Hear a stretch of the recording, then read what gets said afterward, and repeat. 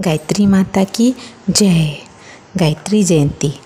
गायत्री माँ के पाँच मुख देंगे, पाँच लाभ। हाथ से न जाने दे ये खास मौका।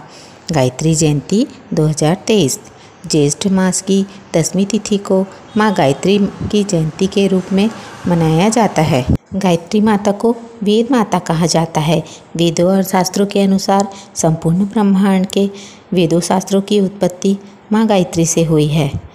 मंत्र में सर्वश्रेष्ठ गायत्री मंत्र के जप से सभी प्रकार के कष्टों से मुक्ति मिलती है। परम शक्ति वाहन इस मंत्र का जाप सभी देवी देवता और ऋषि मुनि भी करते थे। प्राचीन शास्त्रों के अनुसार देवी गायत्री शक्ति व ऊर्जा का परम स्रोत रही है। गायत्री जयंती के शुभ अवसर पर देवी के परम स्वरूप का ध्यान और साधना करने से जातक और मनुष्य जातु का परम कल्याण होता है। देवी का अलौकिक पंचमुखी रूप अत्यंत शक्तिशाली और अनेक प्रकार के सुख देने वाला होता है। देवी का पंचमुखी रूप हमारे शरीर के पंच तत्वों को दर्शाता है।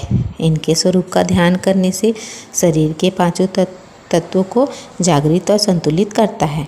मानव शरीर इन्हीं पाँचों तत्वों से हमारे जीवन की अलग अलग गतिविधियाँ निर्भर करते हैं।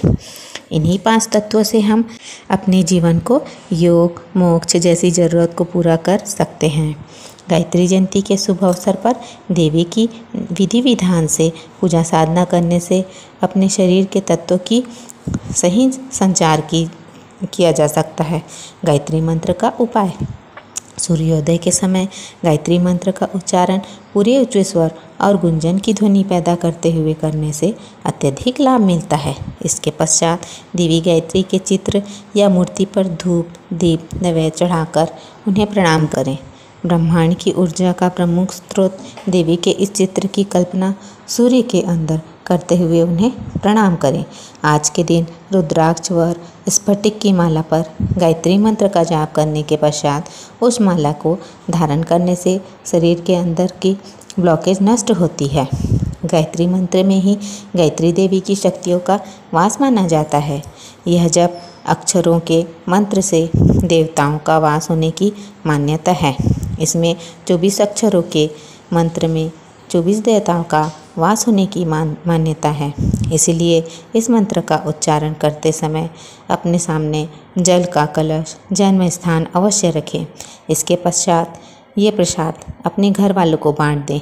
अपने घर में पुस्तकों का पूजन करें। पाँच प्रकार के फल, पकवान, रसों का भोग लगाएँ।